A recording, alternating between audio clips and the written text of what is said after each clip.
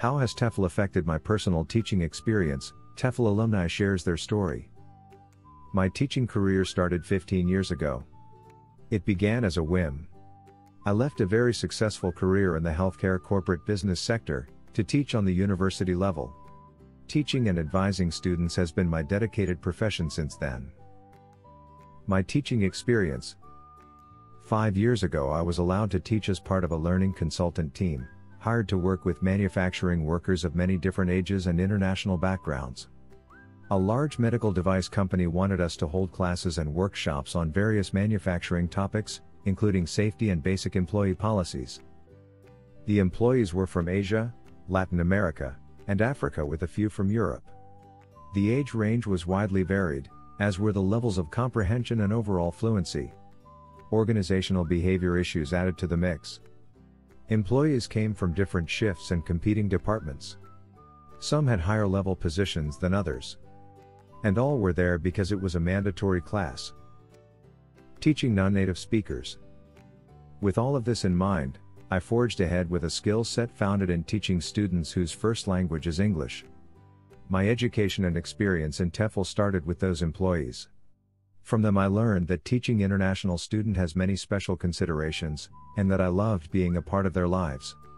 Somehow we managed to tackle course content through the use of vocabulary exercises, discussions, games, case studies, and learning teams.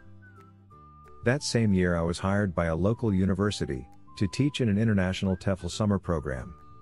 I continued to teach critical thinking, American identities, professional presentations, intensive reading, and business communication, to students that range in age from post high school to postgraduate.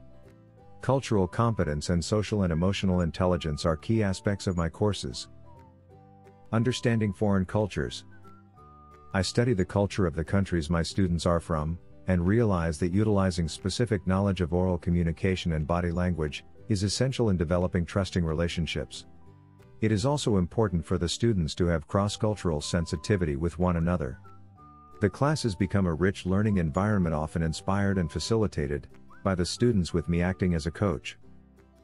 ESA methodology My lesson plans are ESA structured. After clearly sharing foundational knowledge, I step back, listen, and observe.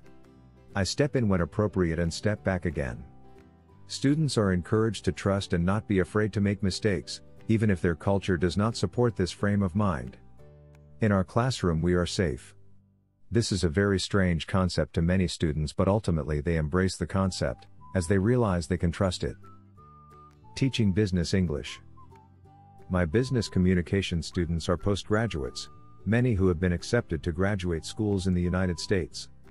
At the beginning of the course, the students discuss what they want and need to learn about.